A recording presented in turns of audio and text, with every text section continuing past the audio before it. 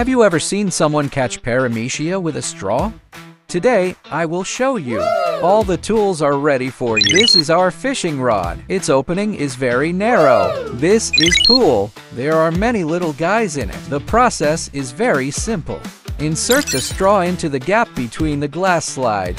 Fix it on the tape next to it. When the paramecium approaches the mouth, then gently pull the syringe. You can catch paramecium. Now let's get started. Insert a straw. Sprinkle yeast to attract paramecia. They gathered quickly. A paramecium is approaching. Then gently pull it. It is sucked in. Let's take a look inside tube. Find no paramecia. Maybe I used too much force. Drop the water on the slide. Observe it under a microscope. I found it.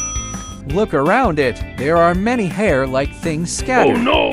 It's probably trichocysts. Maybe because it be attached to the wall of the tub, and I used too much force. Oh! After a dozen minutes, its body gradually grew many small bubbles.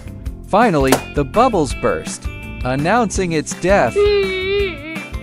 I decide to do it again. Be gentle this time. A paramecium enters the field of view. Three, two, one. Look into the tube. You can see it swimming inside the tube. Observe it under a microscope. It can swim normally. Here, I accidentally caught a stentor. It's swimming in circles. It's over. Is it amazing? Have you learned it?